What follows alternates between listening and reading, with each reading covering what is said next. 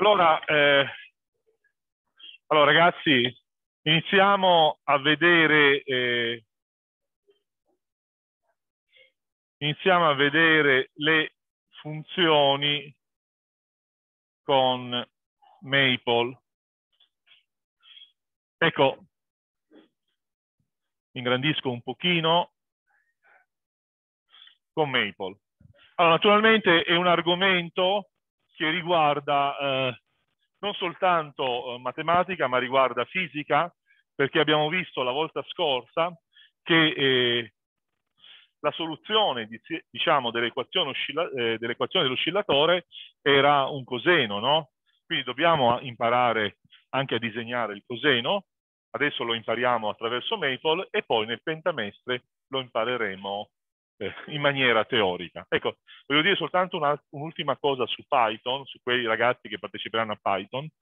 Allora, dovreste per favore andare sulla procedura PPS e vedere che siete stati accreditati dal sottoscritto.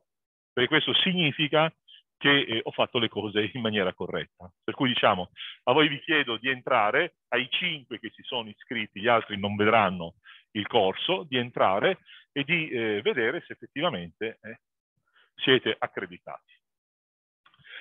Allora, eh, naturalmente noi di Maple abbiamo imparato ad usare, diciamo, oh, diverse, diverse cose, e c'è diversi strumenti, eccetera. Adesso ci manca lo strumento delle funzioni. Allora, come si fa a definire una funzione? Allora, la funzione naturalmente la possiamo chiamare in tanti modi, vedete? La chiamiamo tradizionalmente f di x, avendo messo tra parentesi una variabile, vuol dire che lui capisce che questa è una funzione. È chiaro? fx2 uguale, che ne so, facciamo una classica uh, funzione di secondo grado che voi conoscete. Cos'è che vuoi? Ok, va bene. Vabbè, diciamo, probabilmente, eh sì, è una versione Maple 2015, quindi mi chiede di eh, definirla come funzione. Allora, questa è la funzione, vedete, che va da x a x al quadrato più 1. Ok? Dimmi. Allora, ecco, si apre una finestra perché, eh, come la vostra compagna saprà o vedrà, questo è Maple 2015. Noi nel PON abbiamo utilizzato Maple ultima versione, e l'ultima versione non apre una finestra, è chiaro, però infatti anche io sono rimasto un po' perplesso quando l'ho visto. Allora, è definita una funzione, naturalmente noi della funzione, per esempio, possiamo essere interessati a calcolare le immagini, no? Per esempio, se io volessi calcolare f di 2, cioè quanto vale la funzione in 2, Naturalmente voi sapete che dovete fare 2 alla seconda, che fa 4 più 1 fa 5. Ok? Quindi f di 2 è uguale a 5. Ci siamo? Proviamo a fare, vabbè dai, facciamo f di 20. f di 20 va bene, 401. Ok? Allora, eh, adesso che cosa succede se io dovessi fare, che ne so, f di x più 3. Vedete? Lui al posto di x va a mettere x più 3. Naturalmente qualcuno potrebbe dire sì, ma vorrei vedere l'espressione sviluppata e allora posso fare un expand, vediamo se funziona questo comando, e con questo comando lui dovrebbe eh, sviluppare il quadrato. Ci siamo? Ok. Va bene? Allora, eh, vediamo se funziona. Adesso, naturalmente, voi sapete che è importante per noi non soltanto le immagini, ma anche le controimmagini, no? Se io ho y uguale a 3, per esempio, voglio sapere quali x danno y uguale a 3, l'abbiamo fatto. E naturalmente voi capite, lo, metto il cancelletto, che se tu vuoi trovare le x messo il cancelletto per dire sto facendo un commento, no? Se noi vogliamo trovare le x eh, tali che f di x è uguale a 3, questa tecnicamente è un'equazione. Ci siamo? Quindi dobbiamo risolvere un'equazione. Allora, l'equazione sappiamo che si risolve con solve,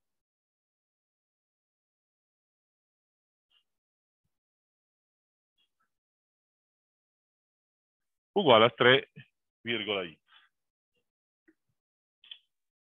Va bene? Diamo invio e vedete che ci vengono date le, le due radici. Naturalmente uno dice, eh, come dovrei fare?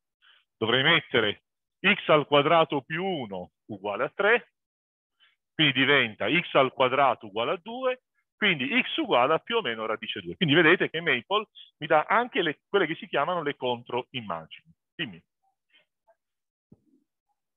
No, allora, la vostra compagna giustamente mi chiede perché qui mettiamo l'uguale e non due punti uguali? Allora, attenzione. Scusami?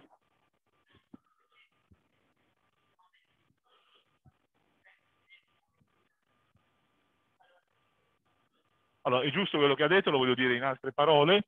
Allora, quando tu metti due punti uguali, stai, subito, stai dichiarando che quell'oggetto è definito così.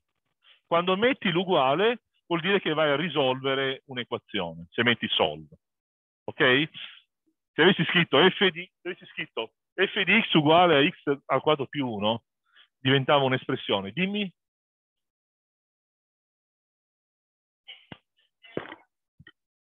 Ma mi auguro che...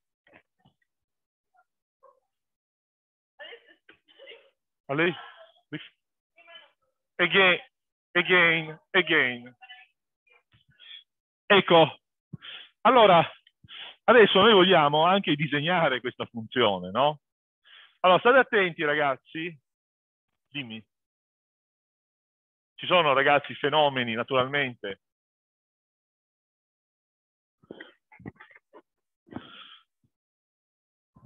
devi andare qua.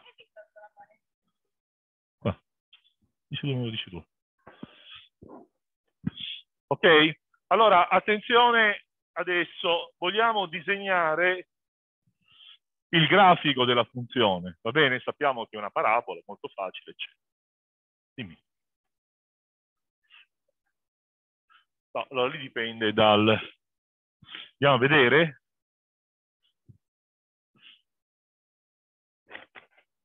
Fammi vedere.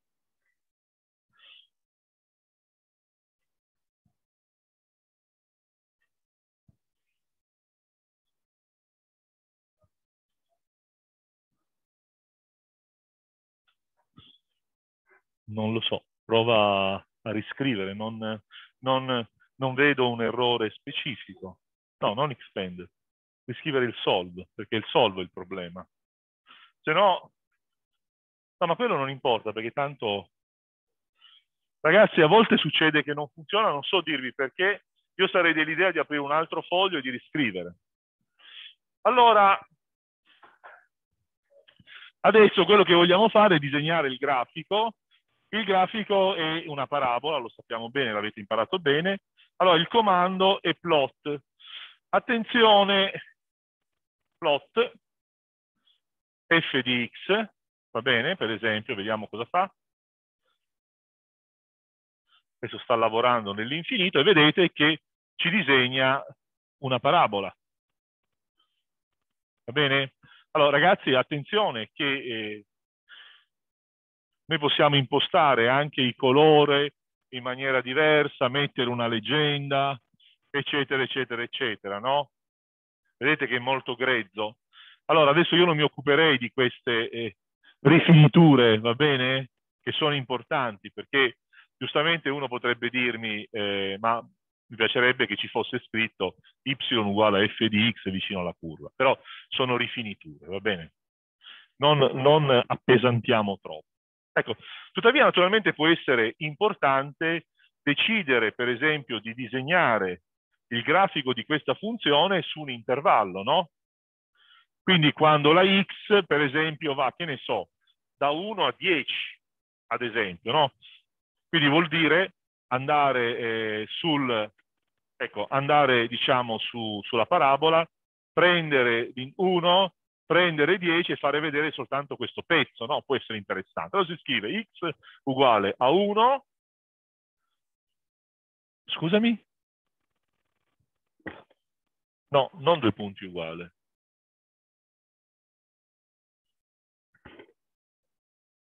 Ok, non due punti uguali, ma eh, x uguale a 1, poi puntini puntini 10. Ok, la sintassi è così. Vedete che ci viene dato soltanto un pezzetto no? di parabola. Eh? Vuol dire, guardate bene la sintassi, eh, la sintassi deve essere giusta. x uguale a 1, puntino, puntino, 10, e viene fuori la parabola. Ok? Mezza parabola, eccetera. Allora, eh, adesso, naturalmente poi ripeto, si può scrivere, si può dare il colore green, il colore blu, eccetera, eccetera, ma sono raffinatezze che non ci interessano. Eh? Io ricordo che poi voi siete curiosi, eh? sapete che c'è il detto the curiosity kill the cat, va bene? Voi siete curiosi, no? E quindi andate e cercate e trovate. Ecco. Una cosa che non vi ho detto, per esempio, uno potrebbe dire, professore, guardi che io sono curioso, voglio sapere, voglio imparare. Allora, a parte il fatto che uno va su Google, su internet, dove vuole, e ci sono migliaia di persone che hanno scritto documenti in cui ti insegnano ad usare veramente Maple. Però Maple ha anche una leggenda, no? Per esempio, io non conosco la sintassi del comando plot, vedete? Scrivo plot, mi si apre l'help, vado su plot e vedete che su plot, naturalmente è tutto in inglese, fortunatamente non è in francese, anche i canadesi francesi sono, ci sono, eh? Sono tutti gli esempi, sono tutti gli esempi, no? Su come fare, su come mettere più funzioni, sul colore, red, green, blu, su quelle tre funzioni, eccetera. Ecco, naturalmente l'help eh, vi dà una mano, no? E quindi potete imparare. Allora uno dice, ma se io volessi imparare come posso fare? Eh, allora, ragazzi, guardate che eh, lo vedremo con quelli che, con cui lavoreremo in Python. Come si dice? Ok, non c'è nessuno di fede islamica, quindi come si dice, diciamo, il, eh, il coding è come il maiale, non si butta via niente. Che cosa vuol dire?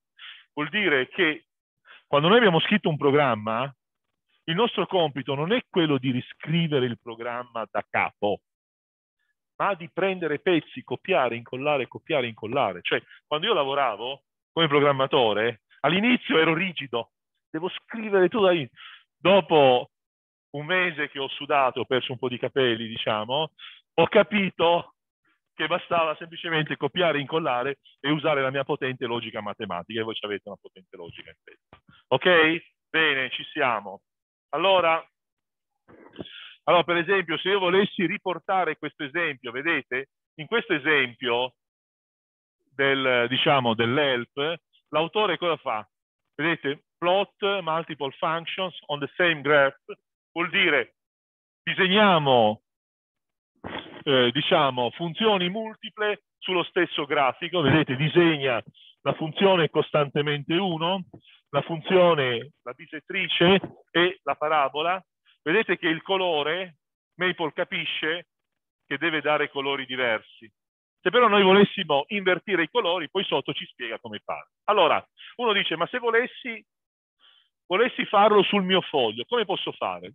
Sono due modi. Uno, mettersi lì a copiare, oppure prendere l'istruzione e incollarla. Io farò così, ok? Quindi seleziono l'istruzione,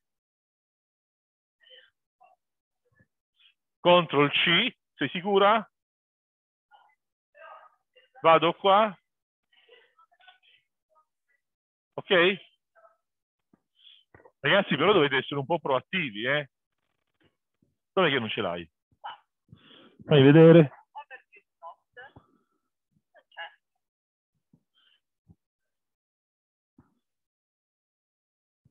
No, vai su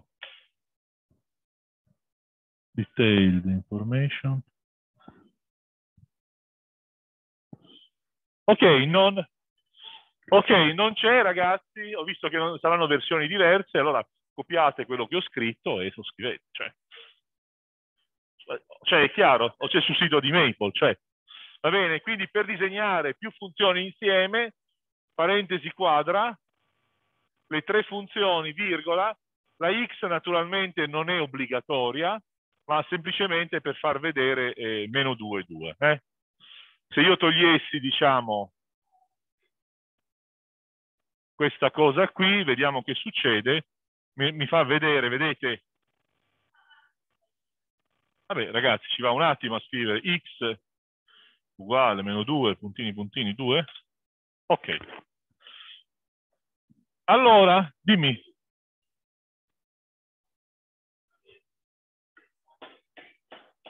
Ragazzi, eh, avete visto che, eh, io non so perché, ma eh, alcuni di voi andando sull'help non vedono questo esempio, misteri della fede può capitare, però vedete che c'è anche un vostro compagno che ha detto me ne sono andato direttamente sul sito di Maple, eh, qui dovete essere diciamo proattivi, no? nel senso smanicarvi un pochino, eh? quindi ricordare la regola che qui non siamo in classe, non siamo, sì siamo in classe, non siamo durante una verifica dove voi dovete lavorare con la vostra testa, qui abbiamo internet e possiamo chiedere aiuto a tutti. Ok? Allora, adesso però, quello che volevo fare con voi, eh, perché poi volevo disegnare le funzioni se ne coseno almeno una volta, volevo per esempio eh, vedere come si può studiare il dominio di una funzione. No? Voi sapete che noi siamo molto interessati a questa tipologia di esercizio. Allora, supponiamo di avere f di x uguale, allora vado qui, prendo la radice quadrata, poi metto un, una frazione, avete capito come ho fatto? Ho scritto f di x due punti uguale, ho cliccato su radice quadrata, all'interno del radicando ho cliccato sulla frazione, ed ecco adesso qui mi invento una funzione x al quadrato meno 3 per x, eh, attenzione non 3x, 3x è come Beatrice, cioè eh, è un nome, eh, non è un prodotto di lettere. Eh. Meno 3x più 1. E qui che ne so, posso mettere, che ne so, x alla terza meno 8. Eh? Cerchiamo di non essere esagerati. Allora, ci viene chiesto di studiare il dominio, cosa devo fare?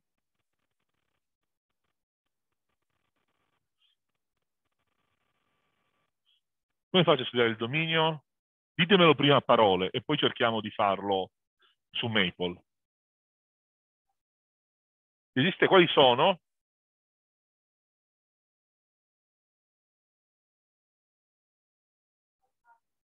Si chiama, chiama radicando, il radicando maggiore o uguale a zero. Allora, se voi ci pensate, almeno così mi è parso, poi potete correggermi, la vostra professoressa come risolveva questo dilemma? Andava a studiare direttamente il radicando maggiore o uguale a zero e non andava a studiare il denominatore, perché tanto diceva, mentre studio il radicando, poi arriva la condizione. E Maple fa lo stesso, no? Maple, a Maple non interessa la condizione x alla seconda meno 8 diverso da 0, lo sa già, per cui è sufficiente mettere il radicando maggiore o uguale di 0 e poi Maple mette anche il denominatore di suo conto. Va bene? Io però vi ho detto che sarebbe meglio fare tutti i passaggi. Ok?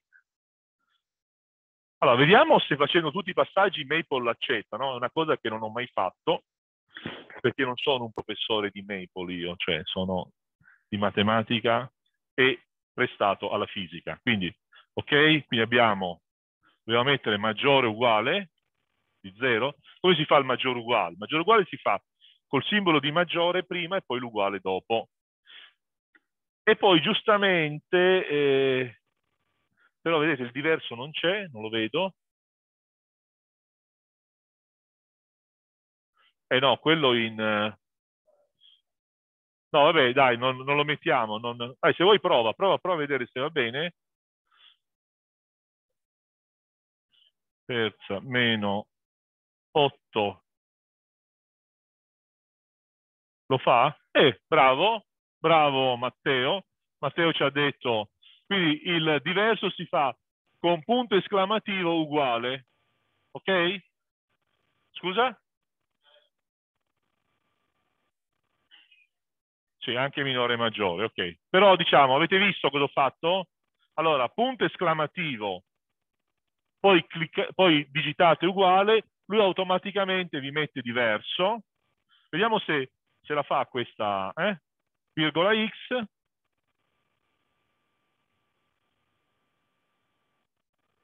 Ok, vedete che Maple, diciamo, è abbastanza uh, intelligente. Allora, eh, allora cerca, cerchiamo di capire, ecco, naturalmente qui lo scrive un pochino... Uh,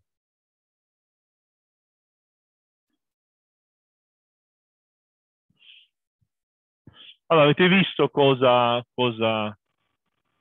Se io dovessi cliccare Union, cosa succede?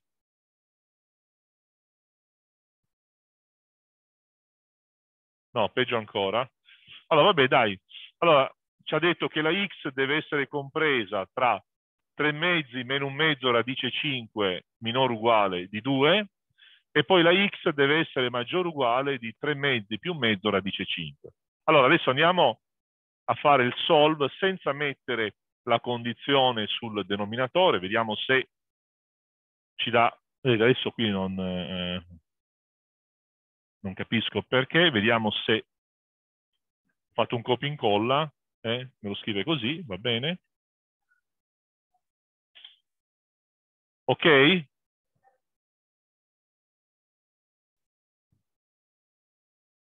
Eh, vedete che, allora facciamo così, togliamo questo, prendiamo sol, perché? Ah, è finito, è finito in text, qui dobbiamo dare mat, ragazzi, da test era finito in test, non so perché, diamo mat qui, che diventa solve,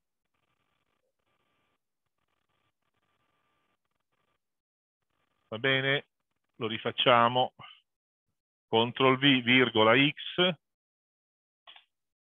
Ok, e, e stavolta ha deciso di, eh, di scrivere eh, l'intervallo, vedete? Real range, questo. Allora, attenzione, cosa vuol dire? Anche qui una scrittura che potremmo dire ai signori di Maple di farla in maniera diversa.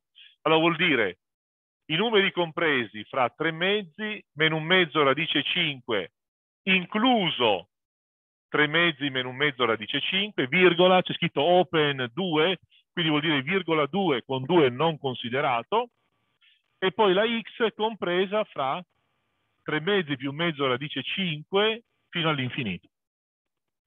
Ok? È la stessa cosa, va bene? Per cui Maple, anche se noi non fossimo così pedanti di mettere il denominatore diverso da 0, lui ce lo farebbe fare. Ok, allora adesso io direi che è giunto il momento di vedere come sono fatti i grafici del seno e del coseno, eh? che sono i grafici relativi al moto armonico. Allora, definisco una nuova funzione, la chiamo gt due punti uguale. Eh? Noi siamo abituati eh, a lavorare con seno e coseno con la variabile t, che è il tempo, però nessuno ci obbliga a usare t, potremmo anche usare x, usiamo t visto che siamo eh, Allora, eh, digito seno di t, e di nuovo si apre la finestra, function definition, ok? Vedete, questa è la funzione t sen t. Adesso la andiamo a plottare questa funzione, che vogliamo capire come è fatta. Eh? Facciamo il plot di g di t No, l'ho chiamata G. Se voi lo potevo chiamare Aurora. Va bene? Allora, guardate come è fatta la funzione. Allora, vi ricordo che greca mezzi è 90 gradi, greca è 180, 3 pi greca mezzi è 270 e 2 pi greca è 360. Guardate come è fatta. È una funzione naturalmente periodica come è giusto che sia, no? nel moto oscillatorio armonico. Il seno è 0 a 0 gradi, a 180 gradi, a 200 gradi. Vale 1, diciamo, uh, quando l'angolo è 90 gradi, vale meno 1 quando l'angolo è 100 Va bene da questo punto di vista? Vi è chiaro? Disegniamo adesso il coseno, lo disegniamo insieme al seno, così vediamo che cosa succede. Allora, prendo un'altra funzione. Ragazzi, non sono obbligato a dare un nome a queste funzioni, eh, però il costi, ok? Facciamo un plot eh, quadra di che cosa? Di GDT, virgola, HT, virgola. Adesso io direi, siccome abbiamo capito che sono delle funzioni periodiche, le vediamo su, su 0, 2 pi greca, no?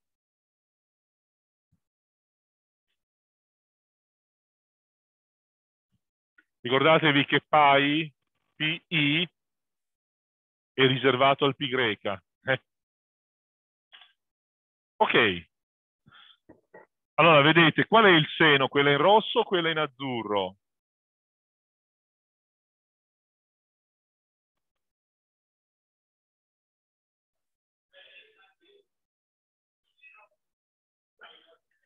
Ok, vabbè, è in ordine, però quello in rosso è il seno perché il seno di 0 vale 0, mentre il coseno di 0 vale 1. Vedete, se voi guardate il seno e il coseno, che cosa vedete? Vedete che semplicemente sono shiftate di 90 gradi. Cioè se io prendessi il seno e lo spostassi di 90 gradi a sinistra, avrei il coseno, no? Lo vedete? Se voi prendete la curva rossa, che è il seno, e la spostate a 90 gradi a sinistra, si viene a sovrapporre con il seno. Ci siamo o no? Ok.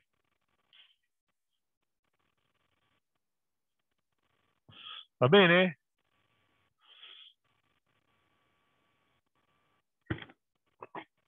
P e P greco. Se, se no andate a scrivere direttamente P greco, andate qua e cliccate su P greco. Ok?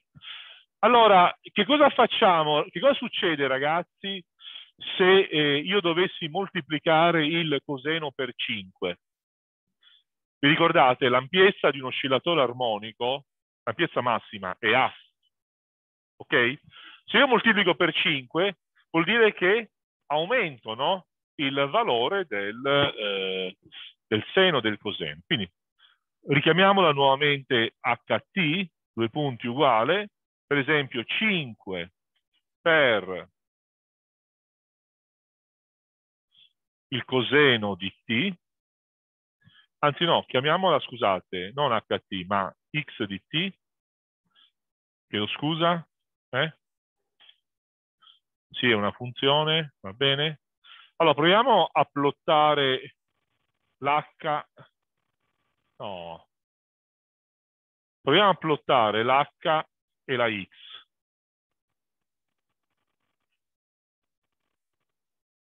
togliamo dai questo range, il tempo va avanti all'infinito nell'oscillatore armonico. Allora, vedete? Vedete che succede?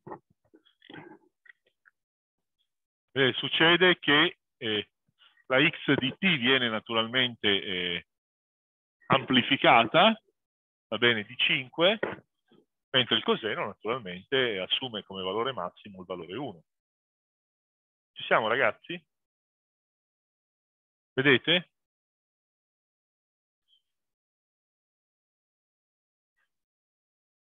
Quindi, quindi vedete, eh, visto che poi dovrete anche, eh, verrete anche intervistati, eccetera, vi faccio notare come, poi immaginate di essere in classe e che io vi dica, eh, vabbè dai, disegnatemi 5 per coseno di t, come faceva, facevo io e come faceva Archimede nei tempi andati. Allora, io usavo il foglio, Archimede usava la sabbia, però che cosa succede? Succede che tu devi metterti lì punto per punto a, a fare il disegno, mentre invece con un ambiente di calcolo evoluto, a colpo d'occhio, eh? però poi qual è il punto? Il punto è che adesso noi andremo anche a sperimentare le fasi, no? Perché vi ricordate, c'è quell'omega T più Φ. Cioè voi immaginate se su carta millimetrata facciamo questo lavoro, cioè diventa un lavoro infinito, no? Ok? Quindi questo secondo me è un fatto positivo. Ci siamo? Ok, allora io procederei in questo modo adesso. Eh, abbiamo visto che nell'oscillatore armonico la formula è omega t più φ, no?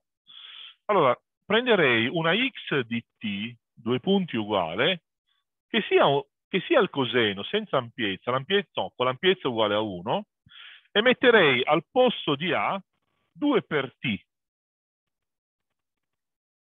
Ok?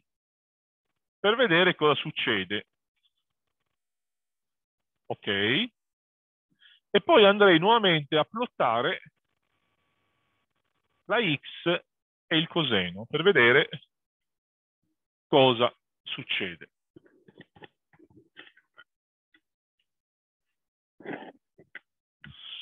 Allora, vedete che eh, vedete naturalmente eh, cosa succede. Naturalmente in 0 assume il valore 1. Noi sappiamo che il coseno in greca mezzi assume il valore 0, vedi? Vedi qua in azzurro?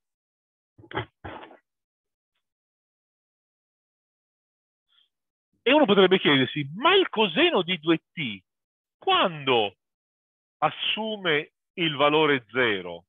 Quando 2t è 90 gradi, cioè quando 2t è uguale a pi greca mezzi, cioè quando t è uguale a pi greca quarti. Difatti vedi che il rosso assume lo 0 in pi quarti. Lo vedete ragazzi? Quindi che cosa vuol dire? Vuol dire che sostanzialmente il coseno di 2t assume i valori del coseno di t quando t è la metà. Cioè ci siamo? Se tu vuoi sapere, se tu fai coseno di 30 gradi. E vuoi sapere quando il coseno di 2t assume questo valore, devi mettere a t 15 gradi, perché 2 per 15 fa, fa 30 gradi. Quindi vedete che il coseno di 2t prende i valori di, del coseno di t prima, metà tempo prima. Ok? Dimmi. Scusa?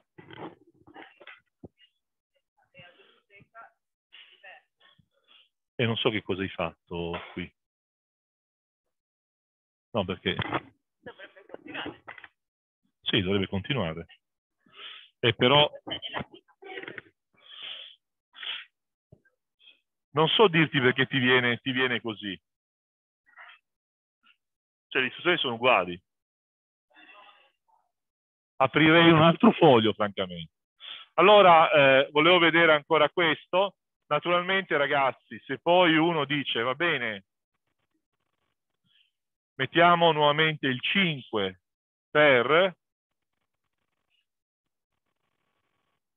Allora, assistiamo ad un'amplificazione, no? Prova, prova, ad aprire un altro uh, worksheet e a rifare, perché non... Vedete? Quindi, diciamo, in questo caso qui abbiamo avuto un'amplificazione no? della, della, nostra funzione, però il, il carattere di prima, cioè il fatto che i valori vengono assunti per tempi dimezzati, eh, si conserva. Va bene? Allora, siamo alla fine e, e, quello che vorrei vedere con voi è quando c'è la fase iniziale, quel più Φ. Ok? Dovreste, dovreste intuire che con quel più Φ abbiamo uno shift. Eh? Vediamolo.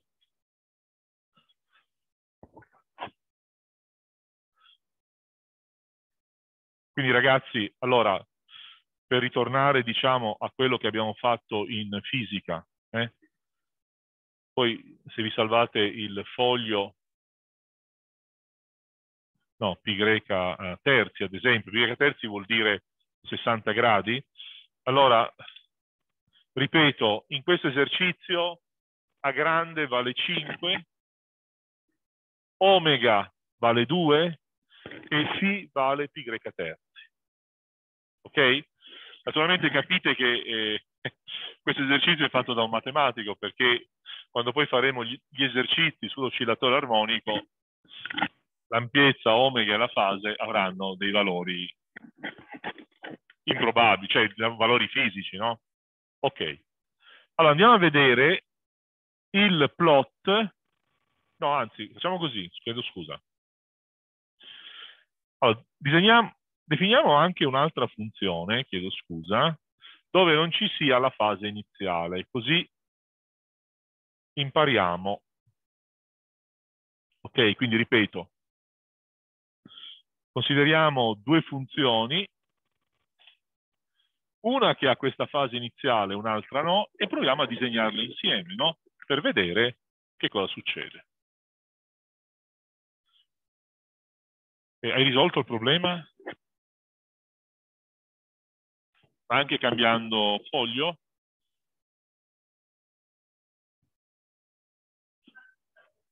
Fai, fai sempre delle cose strane tu, eh? Non è vero? Ok. Sto scherzando, dai. Allora, ragazzi, guardate, guardate, adesso poi arrivo, perché abbiamo concluso sostanzialmente. Guardate, vedete che i due grafici, xt e y di t, sono gli stessi, no? Se li, guarda, se li guardate bene, sono gli stessi, soltanto che uno è spostato rispetto all'altro.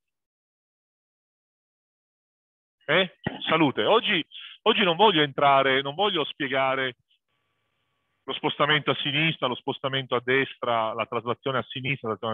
Però quello che vi faccio notare è che quando voi all'argomento gli aggiungete qualcosa, il grafico si sposta a sinistra o a destra.